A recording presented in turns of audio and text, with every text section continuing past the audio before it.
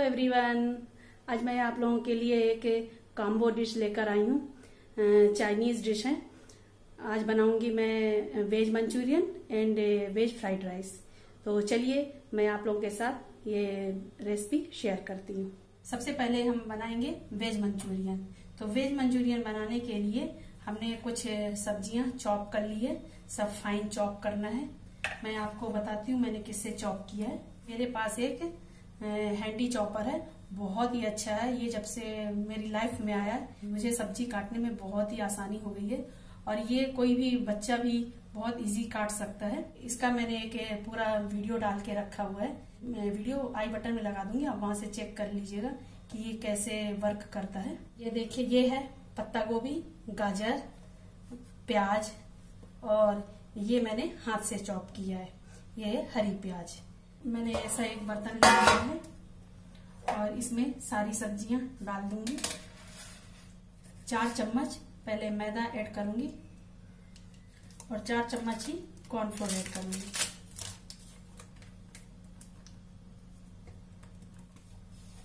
पहले पानी ऐड नहीं करेंगे, जो सब्जियों का पानी रहता है, उसी से पहले इसको मिक्स कर लेंगे। सब्ज़ियाँ ज़्यादा हैं तो और मैदा लगेगा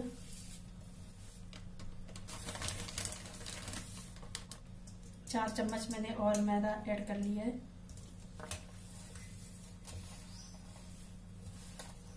ऐसे बनाकर देख लेंगे, अगर बॉल हमारा आसानी से बनने लगा है तो अब इसमें मैदा ऐड नहीं करेंगे। जब तक ये बॉल नहीं बने, तब तक थोड़ा थोड़ा मैदा ऐड करते जाएँगे। ये देखिए हमारे बॉल बहुत अच्छे बनने लगे एक चम्मच अदरक का पेस्ट ऐड करूँगी। एक चम्मच लहसुन का पेस्ट, एक चम्मच हरी मिर्च का पेस्ट, एक चम्मच नमक। नमक अपने टेस्ट के अकॉर्डिंग करिए, सबको अच्छे से मिक्स कर लेंगे। इससे हम छोटे छोटे बॉल बना लेंगे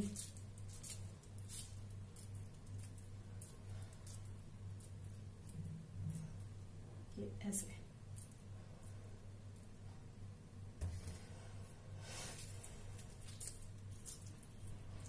से छोटे छोटे बॉल बना लेंगे और फिर इसको मैं थोड़ा देर के लिए 15-20 मिनट के लिए फ्रिज में रख दूँगी।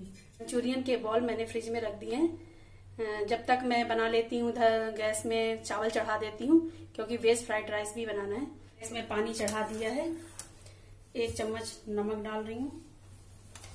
एक चम्मच विनेगर डाल रही हूँ। आप चाहें तो नींबू भी डाल सकते हैं। जब पानी उबलने लगेगा तब इसमें चावल ऐड कर देंगे। चावल का पानी इस गैस में चढ़ा दिया है। मंचूरियन का सॉस मैं इस तरह बना लेती हूँ। कढ़ाई में थोड़ा सा ऑयल डाल दिया है। कढ़ाई गरम हो गई है। अब इसमें मैं लहसुन का पेस्ट डाल रही हूँ। थोड़ा सा अदरक का पेस्ट डालूँगी। थोड़ा सा हरी मिर्च का पेस्ट डालूँगी।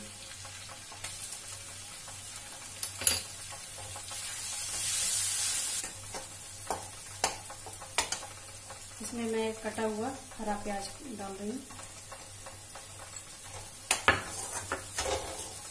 इसमें सोया सॉस ऐड करना है, इसलिए मैं थोड़ा देर गैस को बंद कर देती हूँ। अब इसमें सोया सॉस डालेंगे। दो चम्मच के करीब।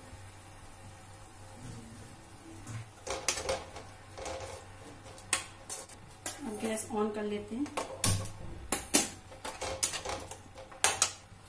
थोड़ा सा चिली सॉस डालेंगे। टमाटो सॉस डालेंगे।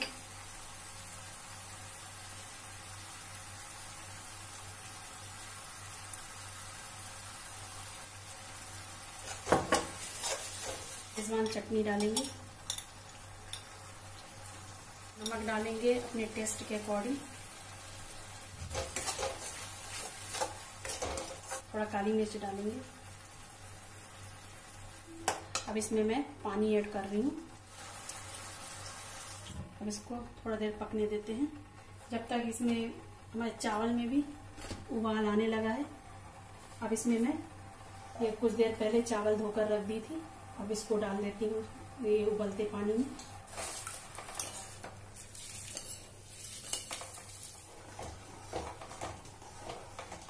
सॉस में उबाल आ गया है। सॉस को अब गाढ़ा करने के लिए दो चम्मच मैंने कॉर्नफ्लोर लिया, उसको पानी में घोल लिया अब इसको चलाते जाएँगे और साथ में कॉर्नफ्लोर का ये जो मैंने लिक्विड बनाया है, इसको डालती जाऊँगी।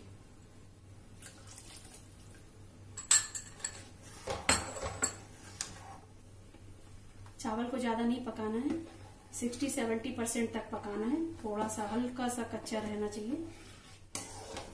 इसको बस इतना ही थिक रखेंगे, क्योंकि इसमें भी बॉल पड़ेगा तो इसका पानी और कम हो जाएगा। ये सॉस रेडी हो गया। गैस को बंद कर देती हूँ। चावल को ऐसी छन्नी में निकाल लिया था। अब इसको मैं ऐसे परात में फैला देती हूँ।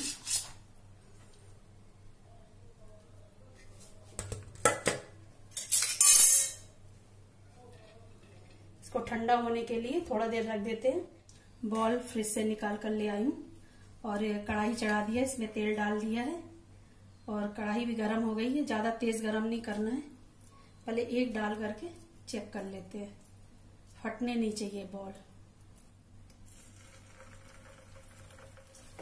इसको तुरंत नहीं पलटेंगे, नहीं तो टूट जाएँगे। और थोड़ा सा सिक जाएगा, तब पलटेंगे। इसमें ऊपर से थोड़ा सा तेल डाल देती हूँ। नहीं टूट रहे हैं तो मैं और भी बॉल डाल देती हूँ।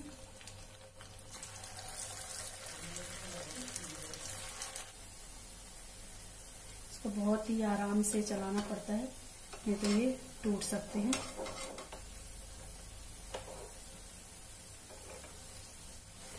ये बॉल भी रेडी हो गए हैं। ऐसे ही तल लेना है सभी बॉल को।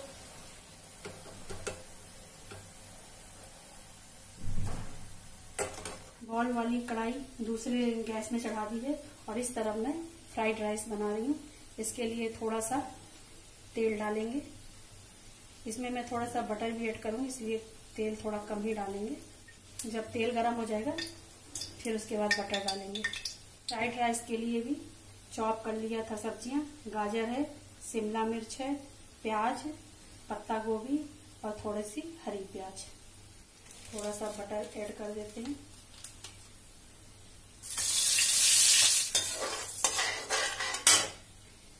हरी मिर्च डाल अदरक डाल दिया। प्याज डाल दिया अब ये सारी सब्ज़ियाँ डाल देंगे। नमक पहले डाल देंगे, जिससे जल्दी सब्ज़ी थोड़ा सा गल जाए।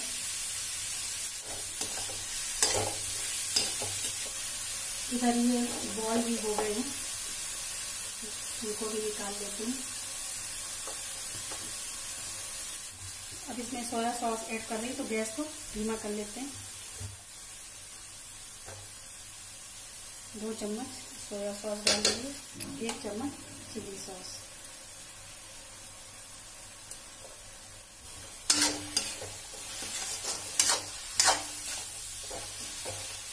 चावल को थोड़ा सा चला लेंगे गुठलियाँ नहीं रहनी चाहिए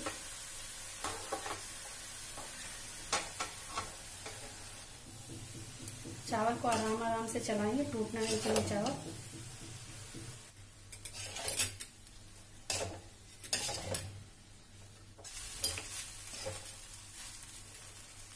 सॉस थोड़ी ठंडी हो गई है तो इसको थोड़ा गैस के ऊपर रख करके गरम कर लेती हूँ, और फिर इसमें बॉल ऐड कर देंगे। सॉस गरम हो गई है, इन बॉल को ऐड कर देती